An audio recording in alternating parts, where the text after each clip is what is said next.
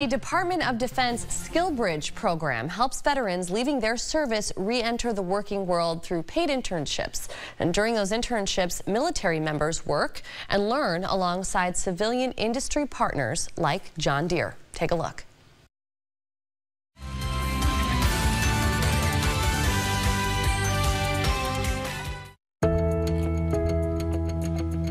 Uh, I'm a hull maintenance technician, uh, so I'm a welder by trade. Uh, I went to boot camp in 2004, had an opportunity to go to the Navy's Advanced Weld School, got certified as a shipboard non-nuclear welder, and did that for a long time until I moved into more of the maintenance and material management realm.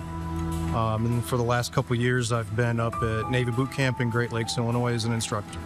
Over 200,000 service members exit the military every single year. So that is a large pool of very skilled and dedicated uh, workers. For me, there was a lot of um, nervousness about the unknown. You know, being in the Navy for 20 years, how do you go from one to the other. So the DoD Skill Bridge program is a program that the Department of Defense created about 13 years ago to ease the transition of our military service members. Skill Bridge program helps connect uh, veterans and those finishing their service time in the military with local employers like John Deere uh, in an internship uh, with within the factory uh, to help connect their skills with potential opportunities as they begin their transition.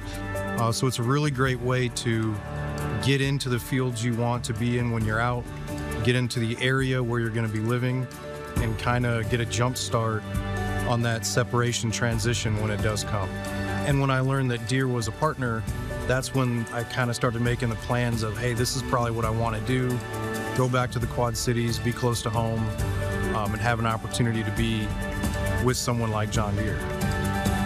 It really helps our service members to um, transition seamlessly from the military to the civilian sector. So while they're in the military, they may be working in HVAC or in military personnel, which is what I did, which is equivalent to HR. However, um, they do not always transfer. The skills do not always transfer. So having the skill bridge and the internship really kind of helps to expose that service member to the civilian sector and what it's like to work in that civilian company. We've had skill bridge interns in supply management, we've had interns in maintenance, uh, and we've had a number number of them in operations helping to support uh, the daily factory production here at Seeding.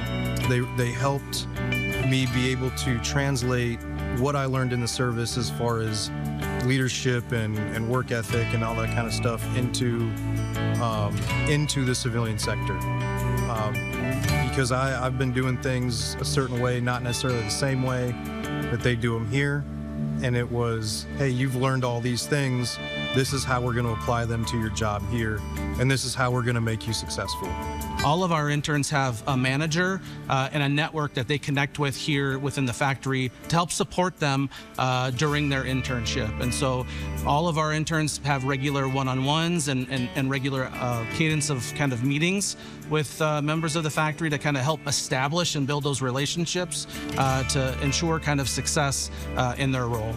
Yeah, it's it's a it was a daily thing. Um, you know, asking how I'm doing, not just with the work here that I was doing for Deere, but also some of the other veterans would ask how I was doing with my transition, um, how the VA appointments were going, um, how a lot of those a lot of those boxes that have to get checked when you're transitioning, you know, making sure that I was taking care of that side of things too, and that I had time to do it. So it was a daily thing where people were talking and asking if I was making sure I was getting taken care of. Uh, internal to John Deere, we have a very vibrant community of veterans, and I, I view this program as another way to extend our outreach uh, beyond the walls of John Deere to help connect and really support the transition of, of veterans and military servicemen and women uh, as they progress beyond uh, their time in service.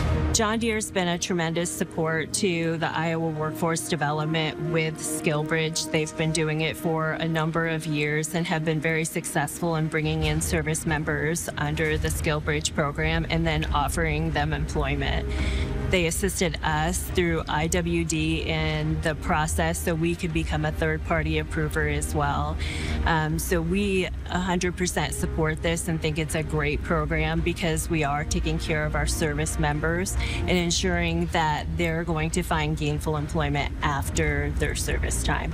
I'm very proudly a second generation John Deere employee. Uh, I was born and raised here in the Quad Cities. My dad retired with 35 years uh, from John Deere, so this is my home. Uh, it's the place where my family, my wife and I, and our four kids have established roots. Uh, and it's just an exciting place to connect, uh, have that kind of small Midwest uh, vibe, but at the same time, a very growing community as well. getting the opportunity to connect with people from varieties of background, different ways of life, is really what brings me a lot of happiness in, in my role. And thinking very specifically to the, the impact of this program, right? Here's just another lane, uh, another pipeline of talent that John Deere can connect with to really help make sure that we've got the best talent uh, to help build the greatest products for our customers. You know, being from Moline, I've been wearing John Deere sweatshirts and, and ball caps everywhere I've been that, that the Navy's taken me. So, and I always talk about, well, you know, Moline, Illinois, that's where John Deere's from. And, you know, I brag about it a lot when I was out doing whatever I was doing. So being able to come back here and, and be a part of this was, was a, was a goal and I'm glad I had the opportunity.